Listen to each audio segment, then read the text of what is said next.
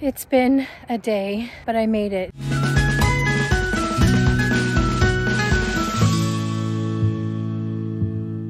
This year, I turned 45.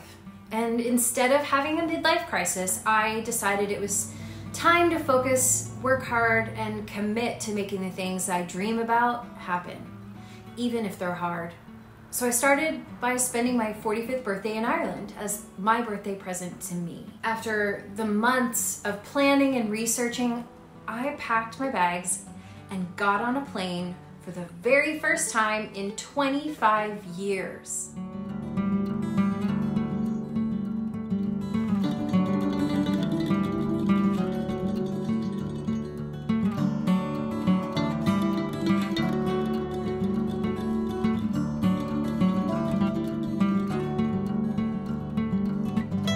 Have always dreamed about going to Ireland, and as I researched my ancestry this year, an incredible discovery came to light.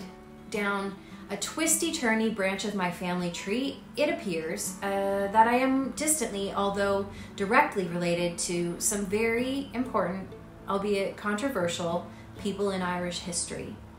If the research is correct, Dermot MacMurrough, King of Leinster, from 1126 to 1171 is my 25th and 27th paternal grandfather from two very distantly related family lines. And along the branches of these lines, there are some incredible historical characters. And honestly, it seems hard to believe that it could be true, but as I told my story along my journey in Ireland, people assured me that it's very possible. Learning all of this information gave me a great excuse to finally break out of my comfort zone and venture out into the world on a quest for knowledge. I plan on doing a deep dive on all of the main characters in this story as I continue my journey and learn more, but for now, I'll just tell the quick version of Dermot's story. He was born in 1110, a son of Donnacha MacMurrough, King of Leinster and Dublin, and succeeded to his father's throne when he was just 16 years old.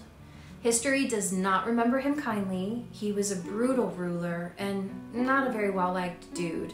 In 1153, he kidnapped Dervagilla, the wife of his rival Tiernan O'Rourke, King of Breffni. Now, whether she was actually kidnapped or just went with Dermot willingly is up for debate. From what I've read, she went of her own volition while taking her dowry and like all of her stuff, including livestock, with the help of her brother. It was almost a thousand years ago, so who really knows? Anyway, Tiernan was obviously pissed, so he forms an alliance with Rory O'Connor, the High King of Ireland at the time. And together they exile him from Ireland. Dervagilla is sent back or goes back to Tiernan, and Dermot flees Ireland in search of Henry II, King of England. He wants to ask Henry for help reclaiming his kingdom. But Henry has got his hands full with his own stuff and doesn't directly help him, but he does grant his permission to ask his people for help. Enter Richard Fitzgilbert de Clare, better known as Strongbow. Yes, like the cider that is named after him. So Strongbow agrees to help him, and in return, he is promised Dermot's daughter Aoife's hand in marriage, and that he would inherit his title and lands when Dermot died. So, Dermot returns to Ireland with his new Norman allies, followed soon after by Strongbow and a second group of allies. They take Dublin and Waterford, and then on August 25th, 1170, Richard Fitzgilbert de Clare and Aoife MacMurrough marry in Christ Church Cathedral in Waterford.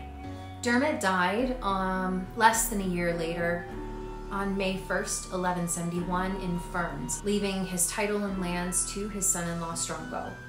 Part of Eva's dowry when she married being the Rock of Dunamase or Dunamase Castle near Portlaoise. It's about an hour's drive from Dublin Airport, and it felt like the perfect place to begin my adventures. So, the very first thing I did when I got to Ireland after having a panic attack about my phone not working and driving on the left side of the road from the right side of the car without GPS or Google Maps was visit this spectacular ancient ruined fortress castle.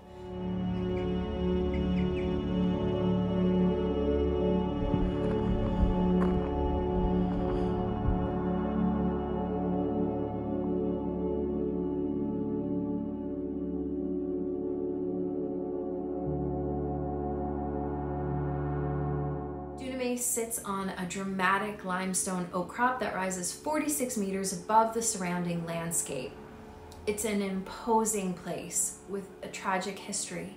And although not a lot is known about its early days, archaeologists have determined that it was built as an early Christian settlement in the early 800s. Around 843, it was plundered by Vikings and then eventually came into the possession of Dermot MacMurrough, then, as part of Aoife's dowry, it passed to Strongbow, then on to his future son in law, William Marshal. It was held by the Marshall heirs, then on to the Mortimers, who forfeited their lands to the crown in 1330, and then it passed to the O'Moores and was abandoned. It's believed that in the 1600s it fell victim to Cromwell assaults, leaving it in the ruined state it's in today. Then, at the end of the 18th century, Sir John Parnell began to restore Dunamase Keep to create a banqueting hall, but when he died, the project was abandoned.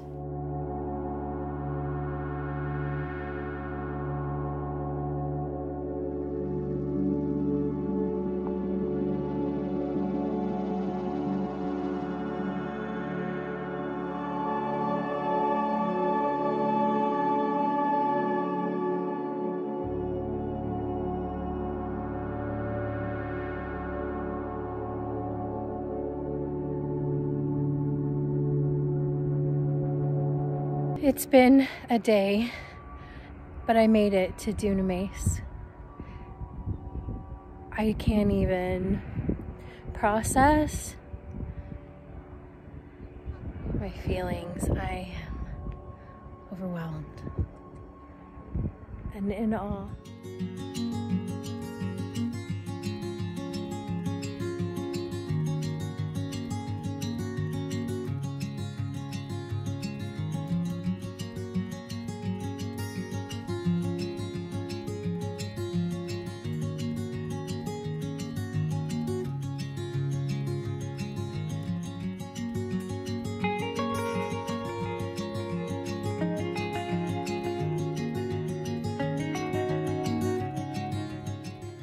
As I drove down the narrow country roads, getting my bearings in a brand new country, I looked up and in the distance, I caught my first glance of the rock.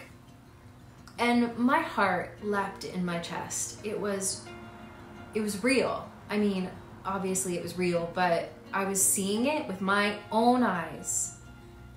And I just sat in my car for a really long time just staring at it from a distance before beginning my exploration. And when it was time to leave, I didn't want to go. I felt that way about almost every single place I went to. I I went through every section two or three times just to make sure I experienced everything there was to see. And Dunamase Castle is extremely atmospheric in the bright morning sunlight on a hot summer's day, it was a lovely, cheerful place and a fabulous walk. But I would love to visit someday when the sky is overcast and threatening rain. I feel like the vibe would be completely different. If ghosts are real, Dunamase is the perfect place to haunt. And someday when I return to Ireland, it will be the first place I visit again.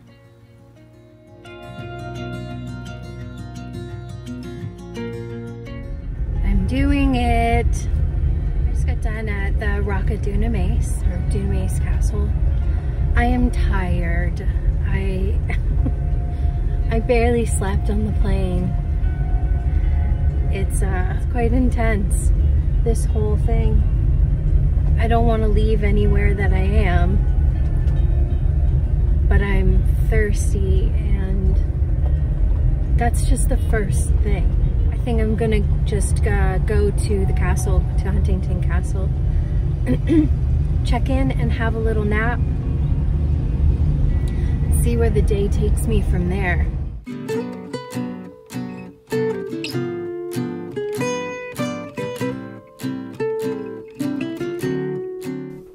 Was a kid, I was obsessed with Scooby Doo.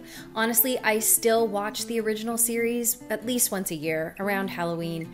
I've always been drawn to the spooky side of things, so in deciding the ultimate way to spend my 45th birthday, it was obvious that spending a night in a haunted castle was the way to go. Huntington Castle in Clonegal, County Carlow is the ancient seat of the Esmonde family who first came to Ireland in 1169 as part of the Norman force enlisted by Dermot MacMurrough that included Strongbow. After learning the castle had a ghost or two and adorable peacocks, it seemed the obvious choice. The castle was built in 1626 on the site of an older structure as a garrison. I took a tour of the castle and learned so many interesting facts about the place, but the one that stuck with me the most was about a soldier in the 17th century who was stationed at the castle. He was sent out on a mission dressed in an enemy uniform, and when he came back, the guards didn't recognize him when he knocked on the front door and shot him through the murder hole. And it is said that his ghost still knocks on the door just as it did the night he was killed. During my stay, I didn't see or hear anything spooky, unfortunately, but I loved the experience all the same. Another feature of the castle to note is in the basement, where the dungeons used to be. Uh, it's the former headquarters for the Temple of the Goddess, a church founded by Olivia Robertson, and as well as the Sacred Well of St. Bridget. It was such a fabulously cool and interesting place, and I am so happy I found it.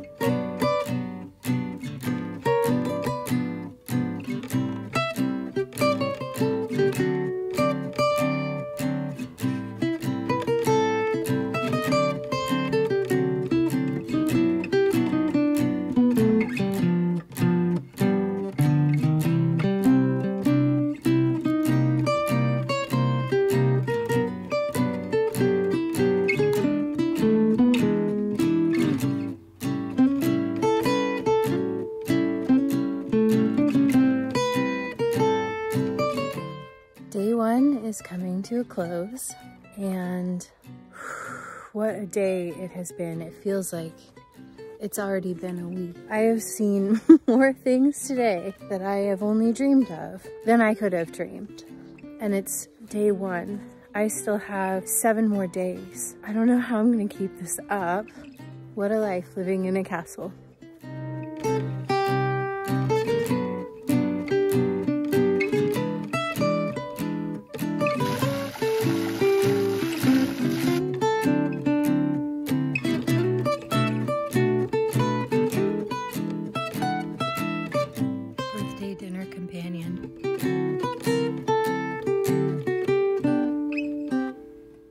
My first day in Ireland and my 45th birthday. What a wild ride!